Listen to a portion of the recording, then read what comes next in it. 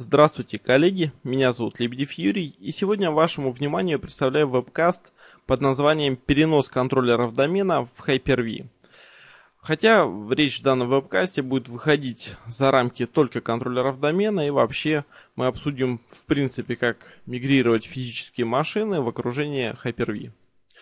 Итак, по сегодняшнему сценарию у нас есть окружение sili.local, в котором находятся два контроллера домена под управлением Windows Server 2003 Enterprise со вторым сервис-паком и установленным R2.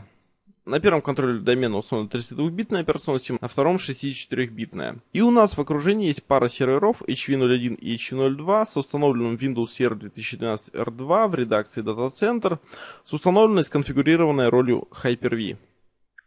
Также есть у нас компьютер с CMP01, это рядовой компьютер в домене, он будет использоваться для тестов. Что же мы сделаем в рамках данного сценария? Мы мигрируем DC01 в Hyper-V. То есть мы сделаем конвертацию жесткого диска компьютера в виртуальный жесткий диск. Затем создадим для него виртуальную машину, подключив тот самый виртуальный жесткий диск и протестируем работу DC01. Затем я расскажу некоторые нюансы конвертирования VHD, какие могут быть проблемы и какие вы можете использовать методы для борьбы с проблемами. Итак, переходим к первой части. Для конвертации жесткого диска в виртуальный жесткий диск мы будем использовать утилиту Disk2VHD, которую разработали Марк Русинович и Брайс Коксвелл. Она поддерживает операционные системы, начиная с Windows XP SP2 и Windows Server 2004, ну и, соответственно, более новые. В ее опциях можно выбирать тип жесткого диска, будет это VHD или VHDX. VHD более устаревший формат, он, в общем-то, Максимально можете использовать 2 терабайта места. Он поддерживается Hyper-V версии 1, 2, 3, 4, то есть от самого первого до последнего.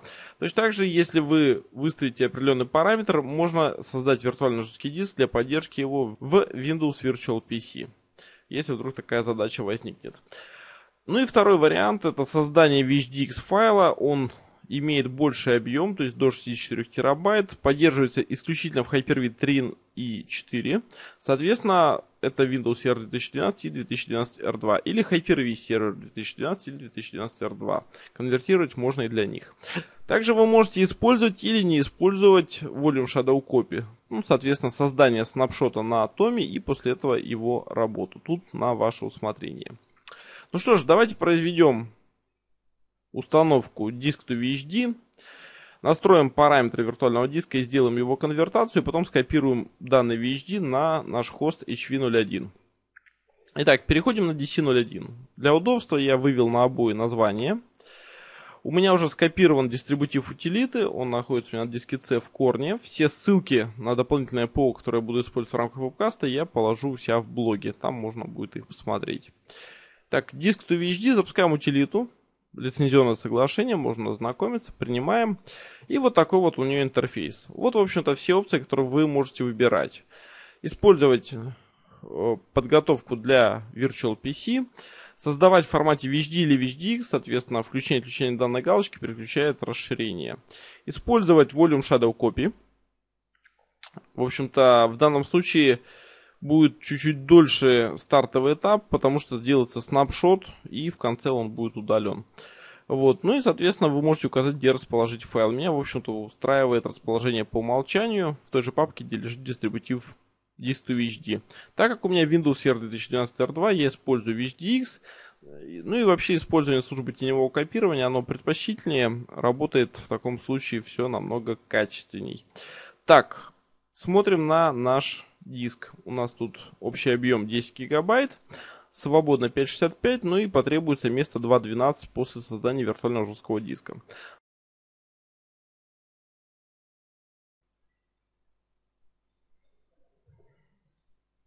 Завершился процесс создания виртуального жесткого диска. У меня он занял меньше 4 минут. Ну, в общем-то, проблема в том, что используется достаточно медленный диск для Windows Server 2003.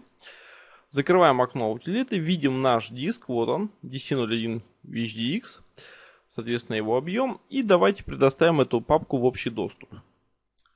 Окей, включаем шаринг. Оставим разрешение по умолчанию. Окей, на этом шаге с созданием виртуального жесткого диска мы остановились. В принципе, точно такой же процесс можно выполнять не только на физической машине, но и на виртуальной. Что ж, перейдем к машине HV01. И здесь мы запустим Windows Explorer и скопируем созданный вновь файл виртуального жесткого диска.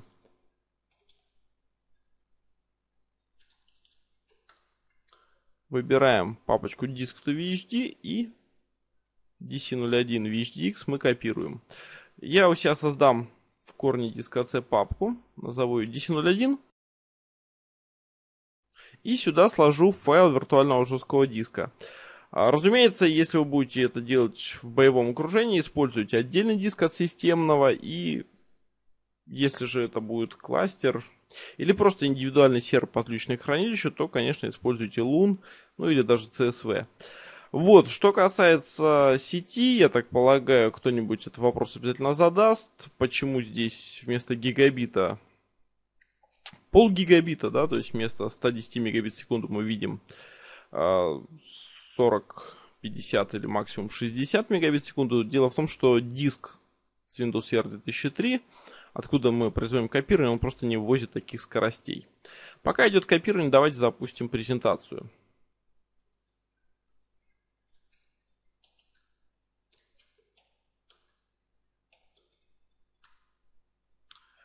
Итак, мы прошли, у нас завершилось копирование, пока свернем.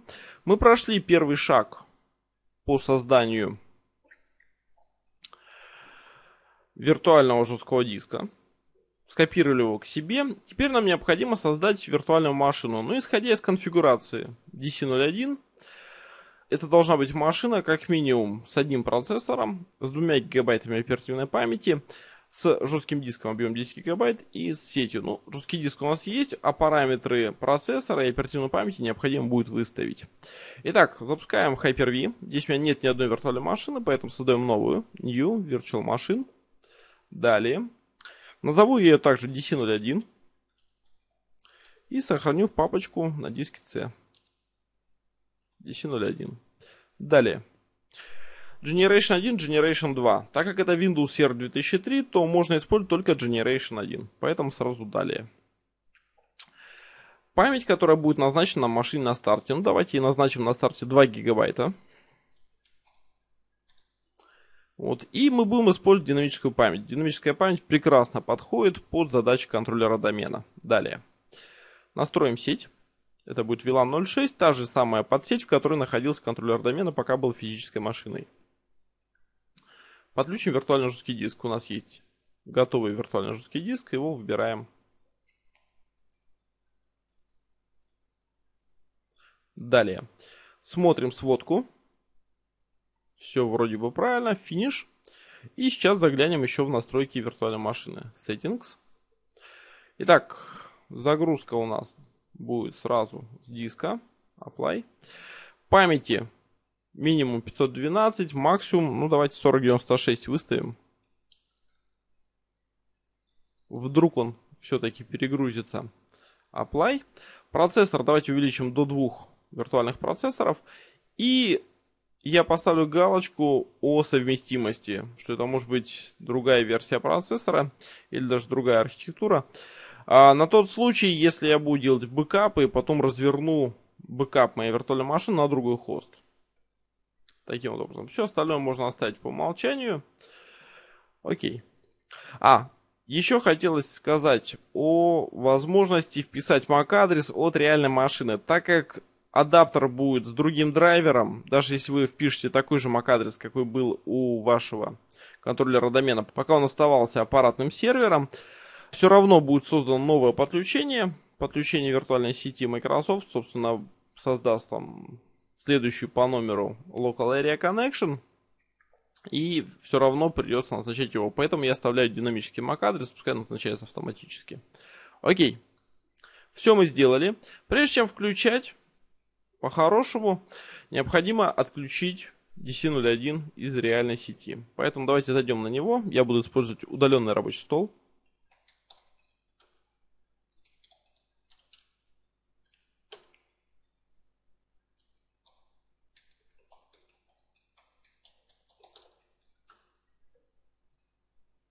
Подключились к машине и отправляем ее на выключение.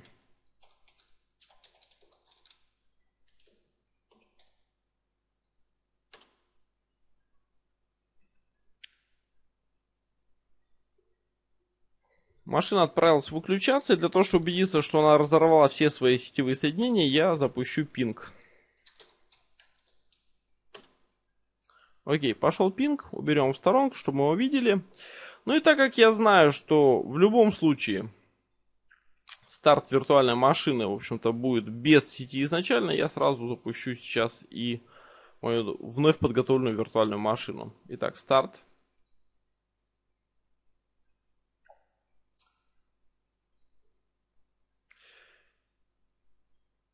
И если вы видите вот такое вот окно запуском ядра, сейчас порисуется, в общем-то, старт от Windows Server 2003, то можно вздохнуть спокойно. Это значит, что ваша машина подхватилась сразу. Что бывает в других случаях, я покажу чуть дальше. Разумеется, э, ваша виртуальная машина при старте обязательно выдаст сообщение о пропавшем драйвере, Потому что, во-первых, она не опознает виртуальное оборудование Hyper-V. Во-вторых, у нее остались драйвера от предыдущей системы, которые нужно будет удалить. Ну, это, в общем-то, решается за счет изучения Event Viewer. Как раз там можно будет почитать, об этом вам сообщается. Вот, а здесь пока сбросим. Ну и запуск первый займет достаточно продолжительное время, потому что контроллер домена будет пытаться связаться с партнерами по репликации. Этого можно избежать, поставив соответствующий ключ в реестре, но это не считается лучшей практикой. Поэтому для чистоты эксперимента я такой ключ выставлять не стал. Вот, разумеется, ожидания мы пропустим.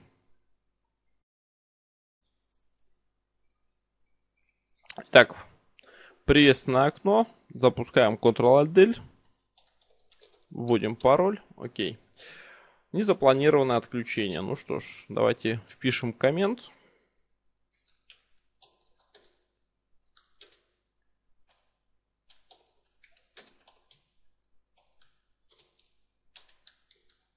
Окей. Входим в систему. А изначально Hyper-V не поймет, в общем-то, драйвера виртуальной машины. Мышь там будет работать просто отвратительно. Поэтому мы запускаем туда Integration CYS диск. И ставится он будет не очень быстро. Так же, как и вход в систему занял порядка двух минут. И установка Hyper-V Integration CYS займет тоже, в общем-то, еще пару-тройку минут. Поэтому мы это тоже пропустим. Итак, завершилась установка оборудования. Wizard предлагает нам перегрузиться. Уходит компьютер на перезагрузку.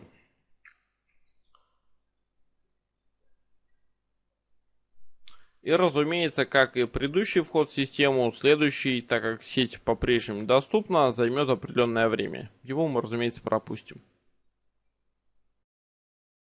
Получаем предупреждение о ошибке запуска драйвера. Ну и входим в систему. Теперь после установки Virtual Machine Additions, то есть Hyper-V Integration Device, у нас все заработало. Давайте увеличим немножко разрешение экрана чтобы было немножко удобнее. Apply, yes. Окей, и настроим сетевой адаптер. Видим, это Local Area Connection 2. Адаптер я настрою с тем же самым IP-адресом, что был у аппаратной машины.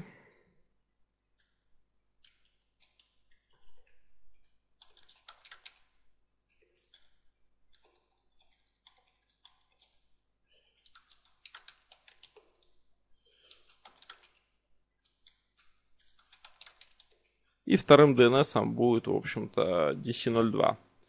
Окей. Как видим, на первом нашем адаптере такой же IP-адрес есть, но меня это устраивает. Close. Тем адаптером пользоваться не буду.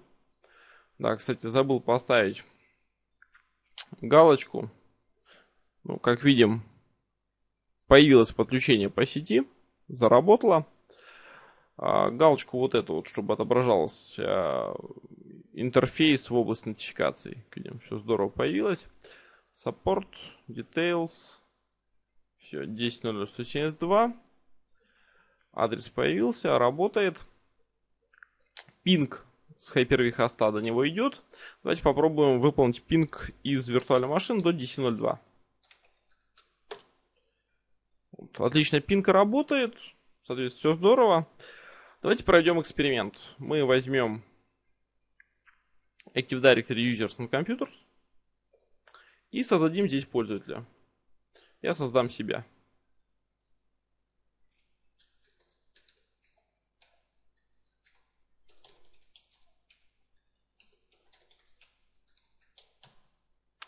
Лебедев YM. Далее пароль. Повторяем пароль. Ну и пока что я отключу аккаунт. Далее. Готово. Появился аккаунт. И выполним принудительную репликацию.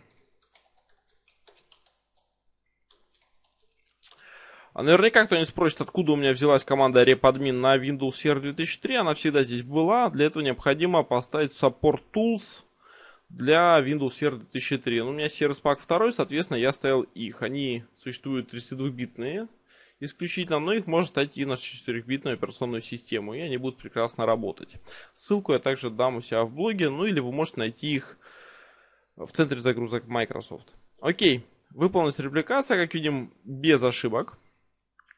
Остановим пинг и подключимся к DC02.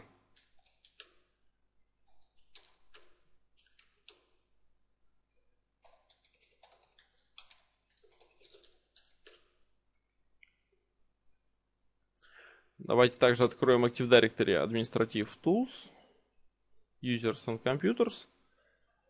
Так, Сили, USR. Как видим, наш пользователь, которого мы только что создали на мигрировавшем виртуальную машину контроля домена, уже появился здесь.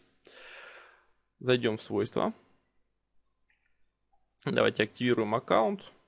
Вот так вот поставим. Apply. Окей. Стоп, я забыл снять галочку. Нет? Нет, все. Apply. Окей. Все, выставил. И опять запустим репликацию, но уже с DC02.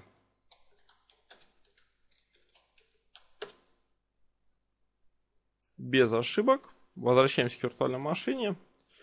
Делаем вот refresh. Видим, настройки приползли сюда. Все здорово, все работает, никто ничего не почувствовал. Причем э, такой вот отвлеченный момент. Я выполню команду netdom query FSMO. В моем случае все FSMO роли находились на DC01. Как видите, все пять. И они прекрасно мигрировали внутрь виртуальной машины. Абсолютно так же вы можете мигрировать и не только контроллеры домена, и другие сервера с другими ролями, и, в общем-то, не только 2003, но и любые другие версии, если вам потребуется. Но, разумеется, бывают нюансы. О них буквально через секунду. Давайте вернемся к компьютеру CMP01 и войдем в систему, уже используя мой новый аккаунт. Так, так, так, так, так, так. Так, почему только завершение работы? Я хочу выйти из системы. Давайте воспользуемся PowerShell. Выполним логов командочку. И я войду в систему от имени вновь созданного пользователя.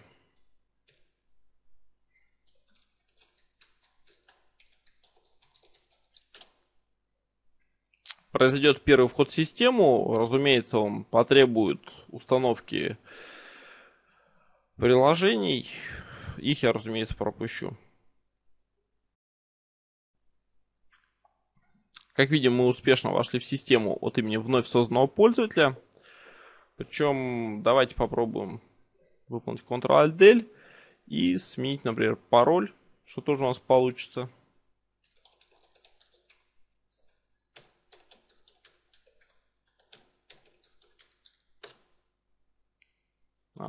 сказано в доступе, потому что я запретил моему пользователю менять пароль. Ну что ж, правильно. Так, запустим браузер. Подключимся к сайту с презентацией.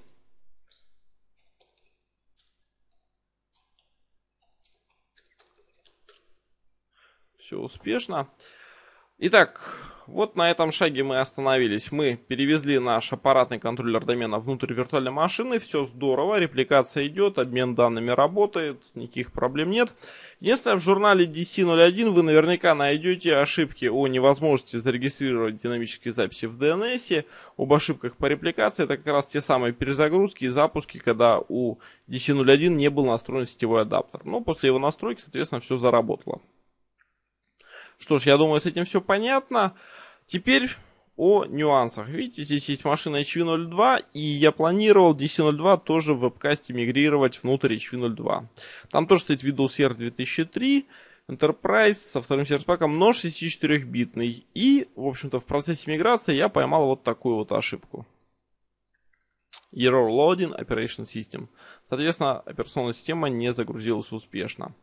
А Такая ситуация может произойти, в общем-то, не только с 4-битной системой, но и с 32-битной системой. Это может быть связано, например, с неподдерживаемым драйвером, с некорректной работой VSS или наоборот с тем, что вы ее не использовали, а изменения происходили критически.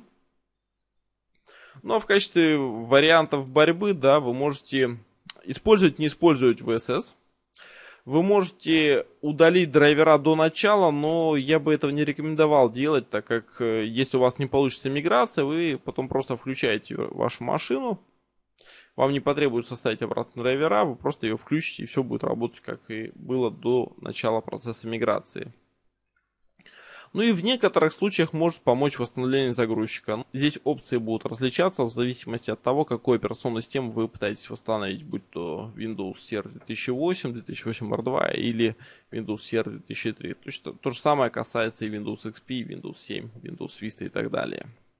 Что ж, я думаю, на этом можно подводить итог мы конвертировали DC01 из аппаратной машины в виртуальный жесткий диск, создали виртуальную машину для DC01 и прикрепили вновь созданный виртуальный жесткий диск, и потом протестировали работу DC01. Создали пользователя, поуправляли репликацией, посмотрели, что репликация идет и никаких проблем нет, ну и затем я немножко рассказал о нюансах конвертирования в HD. Если у вас есть свой опыт борьбы с неудачной конвертацией аппаратной машины в виртуальную, вы можете об этом рассказать, например, в комментариях у меня в блоге. Будет очень полезно. Ну а на этом по материалу все. Подписывайтесь на новости у меня в блоге. Если у вас есть вопросы и пожелания, присылайте мне в почту на lebedyfury.gmail.com. Все мои материалы собраны у меня на сайте, ну и пройти авторизованное обучение по Windows Server и не только вы можете в учебном центре Softline Education. Ну а на этом все, спасибо за внимание и будьте здоровы.